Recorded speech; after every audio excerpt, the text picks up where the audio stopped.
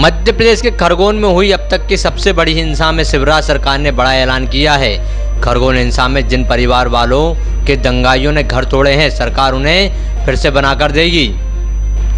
बाद में फिर दंगाइयों से वसूल भी की जाएगी।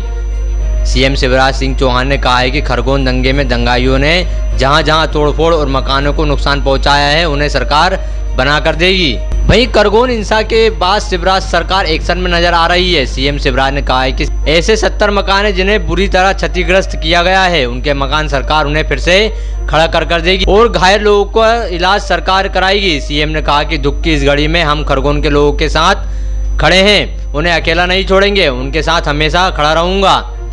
बता रहे कि रामनवमी के दिन खरगोन में चल समारोह में पथराव हुआ था, जिसके कारण खरगोन में दंगा हो गया।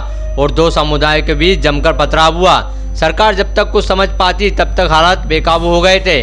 वहीं इस दंगे को लेकर जमकर राजनीति भी हुई। हालाँकि प्रशासन ने खरगोन में कर्फ्यू लगा दिया है। धीरे धीरे हालात सुधर रहे हैं और कर्फ्यू में ढिलाई दी जा रही है।